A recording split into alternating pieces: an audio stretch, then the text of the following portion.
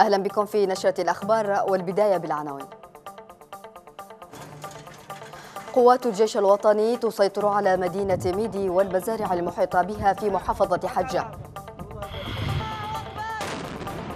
المقاومة والجيش الوطني يستعيدان موقع ضبي في العبوس ويصدان هجوما في القروض بتعز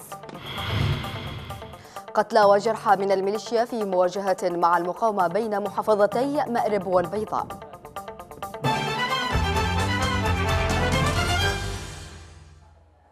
أهلا بكم. سيطرت قوات الجيش الوطني على مدينة ميدي والمزارع المحيطة بها عقب هجوم عسكري صباح اليوم.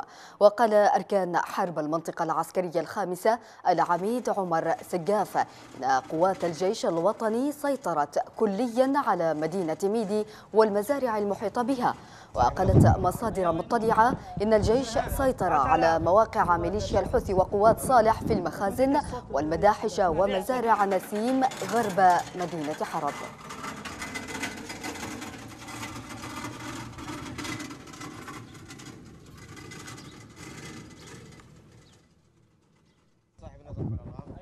وللمزيد من التفاصيل ينضم إلينا الآن عبر الهاتف نائب الدائرة الإعلامية للمنطقة العسكرية الخامسة الرائد بندر المهدي. مرحبا بك سيد بندر.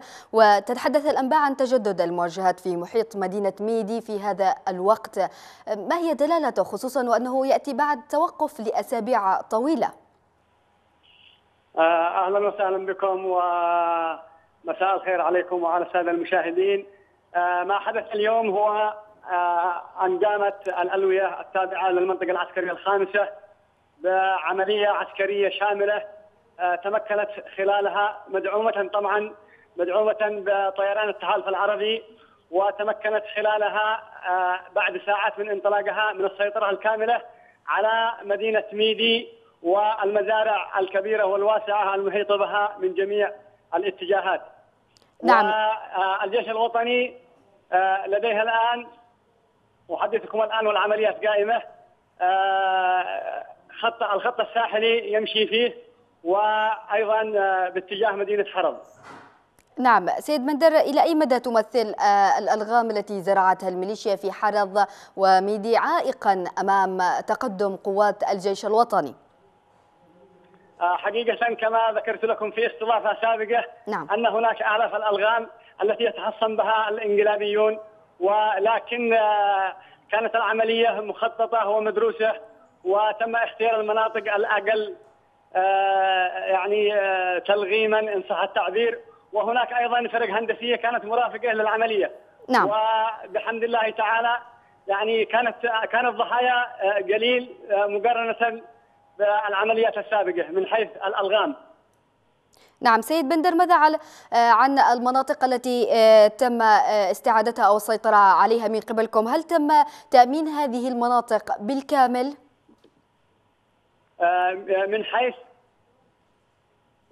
تأمينها يعني تأمينها من الميليشيا من هجوم الميليشيا مرة يعني أخرى من استعادتها نعم نعم. من الألغام أيضا؟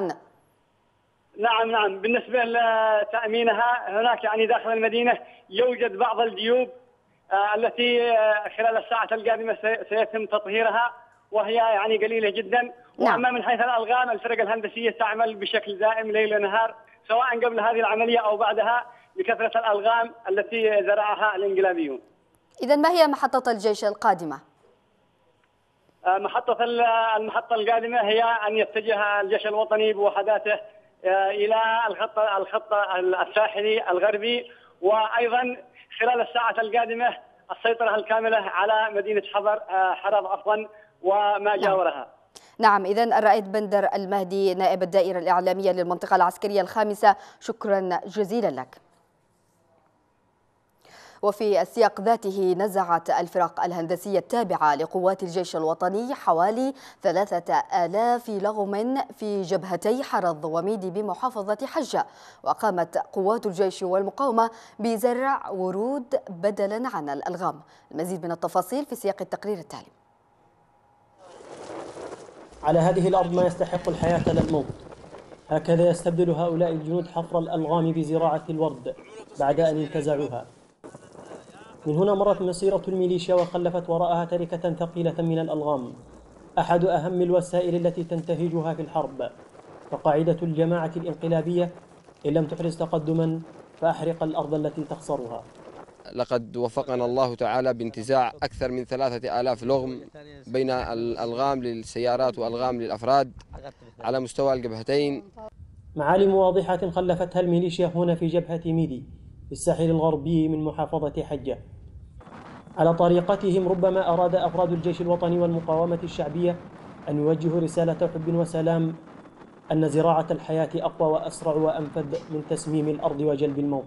لتكون المحصلة النهائية بأن هذا اللغم الذي وضع ليقتل من يمر هنا استبدل بوردة مما لا شك فيه أنها ستمنح يوما البهجة لمن سيسير هنا. ما يربو على ثلاثة آلاف لغم تم نزعها حتى الآن من صحراء حرض وشواطئ ميدي. ولا زالت الفرق الهندسية تواصل مهامها لتكتشف كل يوم حقولا جديدة. لم نأتي إلى هنا رغبة في الحرب بل لننثر الحياة في ربوع هذه الأرض بعد أن ملأتها الميليشيا بأدوات الموت والخراب. بين الوردة واللغم بين إنسان يحلم بوطن يملأه الحب والسلام وآخر يريده حكرا لمشروعه الدموي. ثمة فرق وفرق شاسع جدا. علي جعبور قناة بلقيس ميدي. وإلى تعز حيث استعادت قوات الجيش الوطني والمقاومة موقع ظبي في العبوس بمديرية حيفان بعد أن سيطرت عليه الميليشيا خلال هجوم نفذته اليوم. في سياق متصل صد الجيش الوطني مسنودا بالمقاومة هجوما للميليشيا على منطقة الخلل الواقعة بين القروض ودمنة خديرة بعد أن وصلت تعزيزات للميليشيا حاولت التسلل إلى المنطقة وأجبرتها على التراجع. تختلط الأصوات هنا وإن كانت جميعها توحي بشراسة تلك المعارك التي لا تهدأ في أرض تعز. فما تزال في هذه المحافظة الصامدة أنفاس تكفي أبناؤها لمواصلة طريق المقاومة واستعادة الدولة اليمنية. حيث اندلعت مواجهات في أحياء الدعوة والزهراء والصفا وكلابة أما في جبهة الأقروض فقد دفعت ميليشيا الحوثي والمخلوع بتعزيزات من دمنة خدير للتسلل منها نحو مواقع الجيش والمقاومة هناك ما أدى لمواجهات عنيفة. فيما سيطرت قوات الجيش والمقاومة على مواقع تتمركز فيها الميليشيا في حيفان بعد مواجهات قتل فيها ثلاثة من أفراد الجيش والمقاومة وأصيب آخرون. قيادة التحالف كانت قد قامت بتسليم جبهة حيفان لقوات اللواء 35 بعد استكمال تطهير مناطق المسراخ لترسل قيادة اللواء كتيبة من قواته العسكرية نحو الجبهة. وكما هي العادة ردت الميليشيا على هزيمتها في الأرض بقصف عنيف بالأسلحة الثقيلة على حي الكامب من مواقع تمركزها في القصر الجمهوري. طائرات التحالف قصفت مواقع للحوثيين في مناطق تلة الخزان وحدائق الضباب وجبل هان كما استهدفت مواقع تابعة لمنطقتي الأصفر والشعيرة في مديرية الوازعية غربي المدينة. أسفرت عن سقوط قتلى وجرحى من الميليشيا. هكذا إذا تتكرر المواجهة في تعز بشكل شبه يومي وبين كر وفر تتنوع الاشتباكات في انتظار الحسم الكامل بالمعركة الكبرى. التي ما تزال على ما يبدو بعيدة حتى الآن. وللمزيد من التفاصيل ينضم إلينا عبر الهاتف من تعز مراسلنا فواز الحمادي. مرحبا بك فواز. آه، تتحدث الأنباء عن هجوم للميليشيا على قرقروض ومن جهة أخرى تقدم للمقاومة في العبوس. ماذا لديك من تفاصيل؟ حاولت ميليشيات الحوثي وقوات المخلوع صالح التسلل نحو مواقع الجيش الوطني والمقاومة الشعبية في منطقة الخلل الفاصله بين عزلة الأقروض ومديرية دمنه خدير لكن قوات الجيش الوطني والمقاومة الشعبية صدت هذه المحاولة وأفشلتها وأجبرت عناصر الانقلاب على الفرار والتراجع. بعد سقوط عدد من القتلى والجرحى في صفوف هذه الميليشيات التي تحاول للمرة الثانية خلال يومين التقدم نحو مواقع الجيش الوطني والمقاومة الشعبية في الأقروض خصوصا بعد الهزيمة الساحقة التي منيت بها في الأقروض قبل أكثر من أسبوعين. أما بالنسبة لجبهة حيفان فقد دارت اشتباكات عنيفة بين قوات الجيش الوطني خصوصا بعد إرسال بعد تسليم جبهة حيفان للواء 35 مدرع ونشر عدد من أفراده في الجبهة. الجيش الوطني والمقاومة الشعبية شنوا هجوما على مواقع الميليشيات الانقلابية واستطاع الجيش الوطني استعادة موقع الظبي الذي كان الميليشيات الميليشيات قد سيطرت عليه في وقت سابق. تمكنت قوات الجيش الوطني والمقاومة الشعبية من استعادة هذا الموقع. وقد سقط في هذه الاشتباكات ثمانية من الميليشيات الانقلابية قتلى وعدد نعم. من الجرحى فيما خسر الجيش الوطني أربعة من أفراده شهداء وعدد من الجرحى. نعم إذا مرسلنا فواز الحمادي. شكرا جزيلا لك. وفي السياق ذاته أكد الرئيس عبد الرب منصور هادي مواصلة دعم قوات الجيش الوطني والمقاومة الشعبية في تعز واطلع الرئيس هادي خلال اتصال هاتفي مع قائد محور تعز العميد الركن يوسف الشراجي على سير العمليات العسكرية في مختلف جبهات المحافظة. وشدد هادي على ضرورة الوقوف صفا واحدا في مواجهة ميليشيا الحوثي والمخلوع مشيدا بالدور البطولي لقوات الجيش الجيش والمقاومة.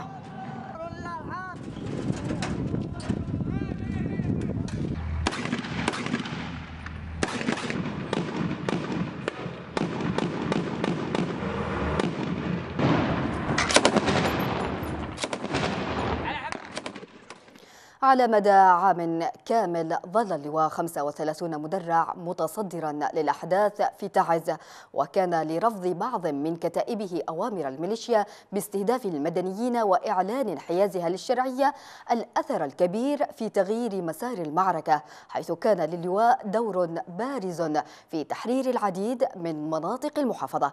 نتابع هذا التقرير. السادس والعشرين من مارس 2015 كانت اليمن عموما وتعز على وجه الخصوص مع ميلاد تاريخ جديد. يكتبه منتسبو اللواء 35 مدرع. بإعلانهم المدوي رفضهم للميليشيات الانقلابية ودعمهم الكامل للشرعية والشعب. في الوقت الذي كانت الألوية والمناطق العسكرية تخلع بزتها وشرفها العسكري وترفع شعار الانقلاب. في سابقة لم يشهد لها التاريخ العسكري مثيل. آه اللواء 35 مدرع. في خلال الفترة من آه، بداية إعلانه ولاءه للشرعية آه، بدأ المعركة في شهر أربعة.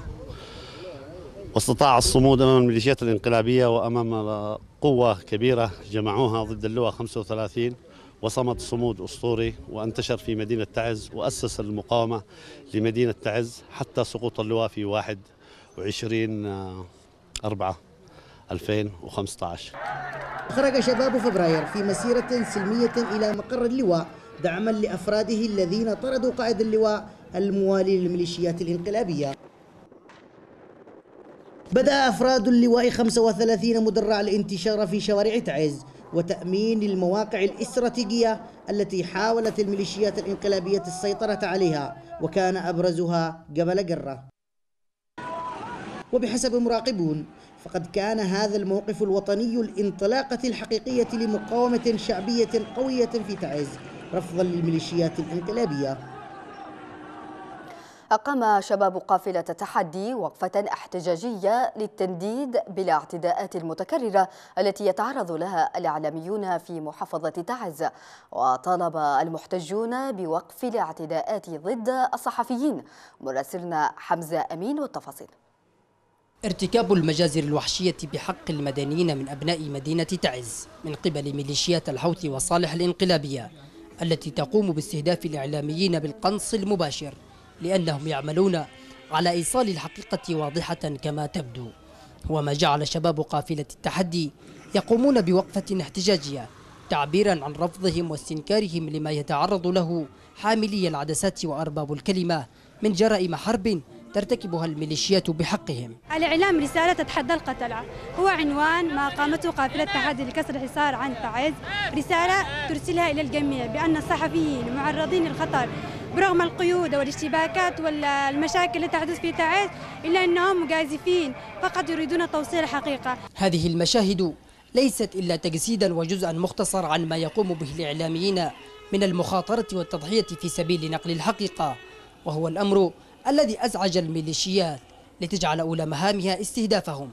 فالشهيدين أحمد الشيباني ومحمد اليمني لم يحملوا البنادق وإنما كاميرات أرادوا من خلالها تقريب العالم مما يحدث في تعز ودفعوا ثمنا لذلك حياتهم. أصيب مجموعة من الصحفيين. هذه الميليشيات أرادت آه، من خلال استهدافنا وليس استهداف المقاتلين إيصال رسالة بأننا لا نريدكم في أرض المعركة لا نريدكم أن توثقوا انتصارات المقاومة لا نريدكم أن توثقوا هزائمنا. تعد جرائم الميليشيات الانقلابية بحق الإعلاميين واستهدافهم محاولات لطمس الحقيقة وتغييب الإعلام عن ما تتعرض له تعز من جرائم وحشية ترتكبها الميليشيات الانقلابية بحق أبنائها.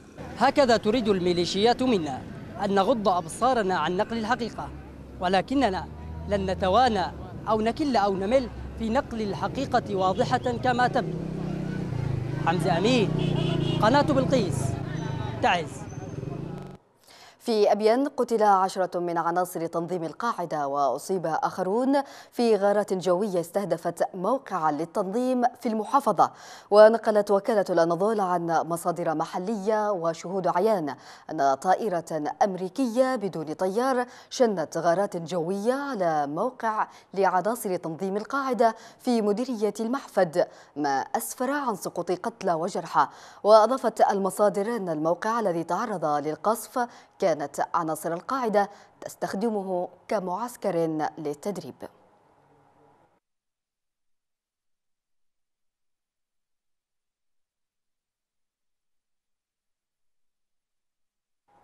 اتهم محافظ عدن اللواء عيدروس الزبيدي الرئيس المخلوع علي عبد الله صالح بالوقوف خلف الاغتيالات والهجمات الانتحارية بالسيارات المفخخة التي شهدتها عدن اليومين الماضيين. وقال الزبيدي تلك الهجمات هدفها تقويض النجاحات التي تحققت في العاصمة المؤقتة عدن وجهود تطبيع الحياة وعودة الأمن والاستقرار. وتوعد الزبيدي منفذي الهجمات والداعمين لها لها بالعقاب الرادع. وشهدت عدن خلال اليومين الماضيين سلسلة هجمات إرهابية طالت نقاط تفتيش. ومراكز تابعة لشرطة مدينة عدن سقط خلالها عشرات القتلى والجرحى.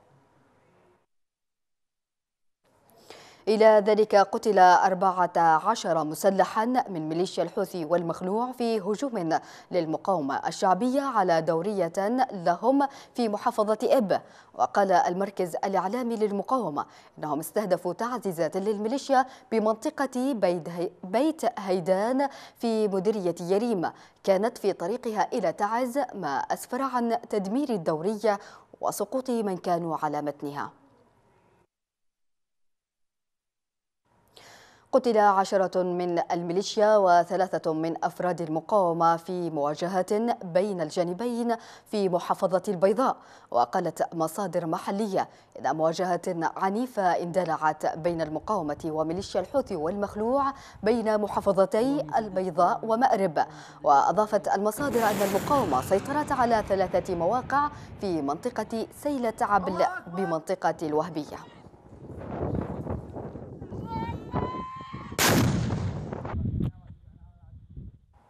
قال العميد الركن جحد الحنش قائد اللواء 21 ميكا بشبوة. إن الجيش الوطني مسنودا بالمقاومة الشعبية أحرز تقدما كبيرا في المناطق التي كانت في قبضة الميليشيا شرق مدينة عسيلان. وأضاف آه، حنش في تصريحة لقناة بلقيس أن الجبهة الشرقية صامدة وتواصل معاركها مع الميليشيا رغم الألغام التي زرعها الحوثيون.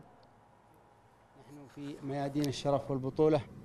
مع أبطالنا من القوات المسلحة في الجيش الوطني والمقاومة الشعبية في الجهة الشرقية آه، لمديرية عسيلان.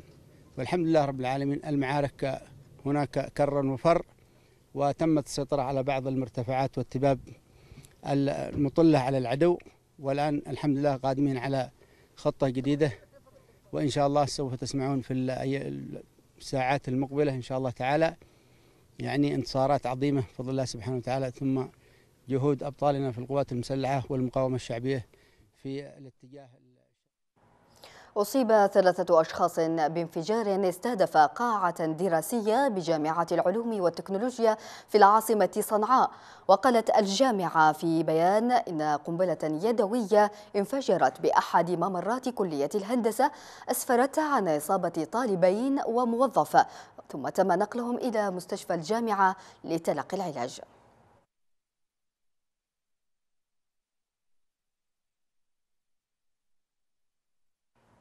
وفي سياق آخر أعلنت نقابة أعضاء هيئة التدريس ومساعديهم ونقابة الموظفين بجامعة صنعاء تعليق العملية التعليمية والإدارية لمدة أسبوع ابتداء من اليوم الأحد حتى الخميس المقبل. وقالت نقابة التدريس والموظفين بالجامعة في بيان لهما إن تعليق الدراسة جاء بعد مهلة منحت لرئاسة الجامعة عقب القرارات الجديدة التي صدرت مؤخرا. مؤخرا من قبل نائب وزير التعليم العالي المكلف والتي اعتبرتها انتهاكا واستفزازا لمنتسبي الجامعة. وأكد البيان أنه في حالة عدم إلغاء التكليفات الأخيرة سيتم تعليق الدراسة بشكل مفتوح.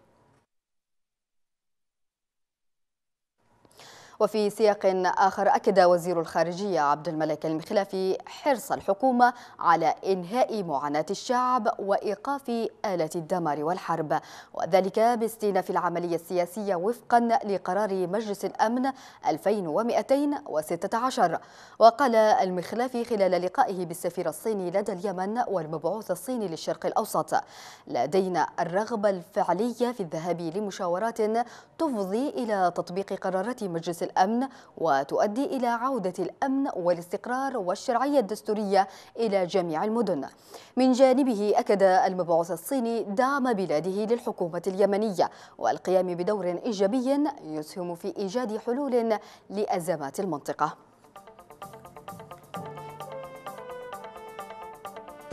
النشرة مستمرة وفيها بعد الفاصل. الأمم المتحدة تقول إن نحو 113 يمنيا يموتون يوميا جراء نقص المواد الطبية والمساعدات الإنسانية.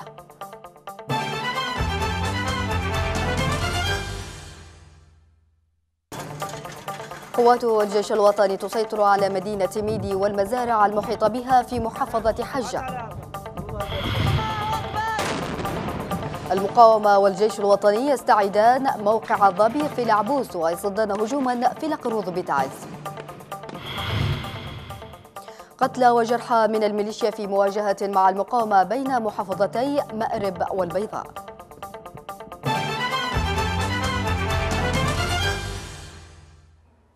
أهلا بكم من جديد.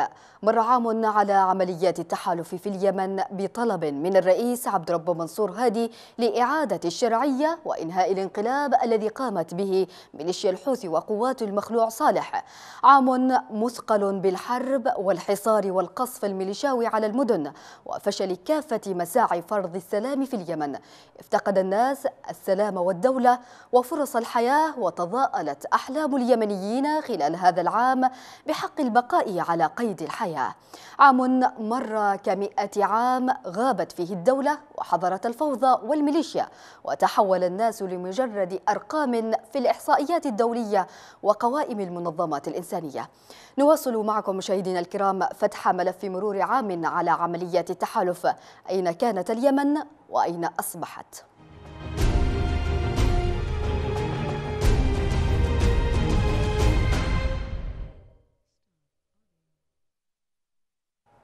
في السادس والعشرين من مارس عام 2015 بدأت عمليات التحالف العربي ضد ميليشيا الحوثي والمخلوع في اليمن. ومنذ الساعات الأولى للعمليات كانت المنافذ الجوية والبرية والبحرية وتدمير الدفاعات الجوية أهم أهداف عمليات التحالف. عام منذ فرض التحالف حظرا جويا وبحريا على المنافذ اليمنية. في إطار عملية عاصفة الحزم التي تم فيها السيطرة على أجواء اليمن وتدمير الدفاعات الجوية ونظم الاتصالات العسكرية خلال الساعات الأولى من العملية. الأجواء اليمنية بالكامل أعلنت منطقة محظورة فيما استمرت الرحلات المدنية وحذر التحالف من الاقتراب من المواني اليمنية إلا عن طريق ترتيبات خاصة حددها التحالف. المساعدات الإنسانية والأغذية والمشتقات النفطية وجدت طريقها عبر ميناء الحديدة الذي حدده التحالف منفذا لعبورها للداخل بعد تفتيشها في جيبوتي. إجراءات الحظر والحرب لم تقف عائقا أمام عمليات تهريب السلاح التي تديرها الميليشيا عبر الموانئ البحرية بل على العكس شهدت ازدهارا حسب مراقبين. فخلال العام ألقي القبض على شحنات أسلحة عدة بينما استطاع غيرها العبور. المنافذ الجوية أيضا كان لها نصيبها من محاولات الخرق حيث اضطرت طائرات التحالف لقصف مدرج مطار صنعاء لمنع طائرة إيرانية من الهبوط. وفي البر لم يبقى سوى منفذ الوديعة الحدودي مع المملكة السعودية الطريق الوحيد لعبور المسافرين والبضائع برا. لصراع المنافذ في اليمن. دور كبير إن لم يكن أساسيا في تقرير سير المعارك على الأرض. واتضح ذلك جليا على قرارات اتخذتها الميليشيا مؤخرا. بعد أن استنزفت أسلحتها وجففت منابع إمدادها. وفي السياق ذاته بدأ تحالف عمليات عسكرية واسعة على الأرض لإسناد قوات الجيش الوطني والمقاومة الشعبية بهدف تحرير عدد من المحافظات. وتمكنت قوات الجيش والمقاومة المسنودة بطيران التحالف من تحرير غالبية المحافظات الجنوبية وأجزاء واسعة من محافظة تعز ومأرب والجوف مزيدا من التفاصيل في التقرير الذي أعده الزميل عدنان الراجحي. السادس والعشرون من مارس 2015 يوم انطلاق عاصفة الحزم في مهمة استعادة البلاد من قبضة الميليشيا والمخلوع صالح اللذين اجتاحا البلاد وسيطر على مؤسسات الدولة. خاضت الشرعية بدعم التحالف تحديا كبيرا رغم تبعاته الكارثية على البلاد لتحرير المحافظات من سطوة الميليشيا والمخلوع بعد أن عزز كل القدرات العسكرية لفرض واقع جديدا على اليمنيين بقوة السلاح رغم غضب الشارع ورفضه لحكم البلاد من خلال الميليشيا. رمى التحالف العربي بثقله العسكري في اليمن واستطاع أن يزيح قوات صالح والميليشيا في محافظات عدة. وكان لعدن البداية في التحرير من خلال عملية السهم الذهبي كخطوة أولى في استعادة البلاد. سعت عاصفة الحزم إلى إيجاد أرضية آمنة للقيادة الشرعية لبدء مهامها في عملية استكمال تحرير المحافظات التي ما تزال تحت سيطرة الميليشيا وقوات المخلوع. وكانت لحج وأبين ومأرب والجوف وشبوة وتعز من المحافظات التي دخلت فيها العمليات العسكرية للتحالف لتطهيرها من الميليشيا. في الوقت الذي خففت العمليات العسكرية للتحالف العربي من تواجد قوات المخلوع صالح والميليشيا على الأرض وواصلت استكمال عملياتها وفقا لما حدد مسبقا وهو الهدف الذي سعت إليه منذ أن أعلن التحالف عملياته في مارس من العام الماضي حيث كان للجيش الوطني والمقاومة الشعبية دور كبير في العمليات التي ما تزال مستمرة. المناطق المحررة من الميليشيا والمخلوع غيرت من سير المعارك وتحولت إلى نقطة انطلاق صوب المحافظات التي ما تزال تحكمها الميليشيا. وأدى الجيش الوطني مسنودا بالمقاومة الشعبية وبدعم من التحالف العربي المهمة وأستطاع أن يحقق تقدما في معظم الجبهات. لم تنتهي عملية التحرير بعد بل لا تزال مستمرة رغم مرور عام على انطلاق عاصفة الحزم التي كانت من أولى مهامها بجانب الشرعية استعادة المناطق من هيمنة المخلوع والميليشيا.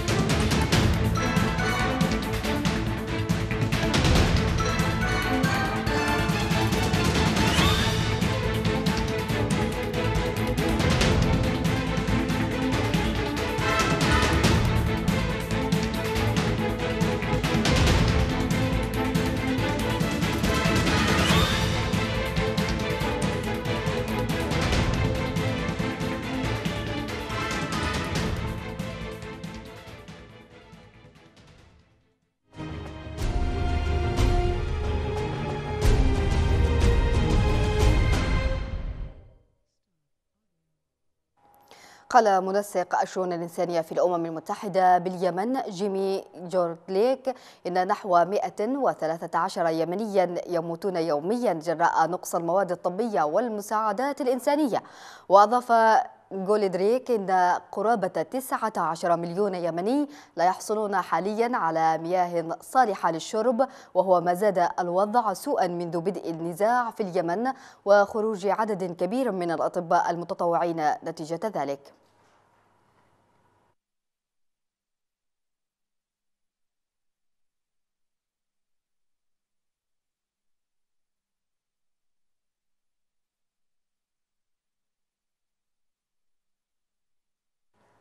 قال مدير مؤسسة الكهرباء في محافظة أبين أحمد علي دحا إن التيار الكهربائي شهد تحسنا ملحوظا في المحافظة حيث تقلصت ساعات الانطفاء بعد صيانة بعض الآلات القديمة المتوقفة عن العمل وإعادة تشغيلها. وطالب المواطنين بدفع التزامات الكهرباء كي تتمكن المؤسسة من مواصلة تقديم خدماتها بشكل أفضل. بدأ العمل وبدأ التيار الكهربائي يعود في صورة أفضل بفضل تكاتف الجهود من قبل المواطنين الذين كانوا سندا قويا وداعما للمؤسسة العامة للكهرباء. تقلصت عدد ساعات الانطفاء كانت تصل إلى أكثر من 12 ساعة يوميا بعد صيانة للمولدات وإعادة تشغيلها وصلت إلى أقل من ست ساعات فقط. بدأت الشركة تشغيل المولدات. تقريبا بقدرة 8.4 ميجا وات آه، في تمام الساعة العاشرة مساء. والآن الشركة مستمرة هذه الصيانة للمولدات الكهربائية جاءت في وقتها فالأجواء في أبين حارة جدا خصوصا في فصل الصيف. ورغم كل هذه الجهود التي تبذل يبقى المواطن في حالة تخوف مستمرة من احتمالية حدوث أي طارئ تخرج فيه الكهرباء عن الخدمة. ويعود مسلسل المعاناة مع الكهرباء. لطفي إبراهيم قناة بلقيس أبين نهاية النشرة وهذا تذكير بالعناوين.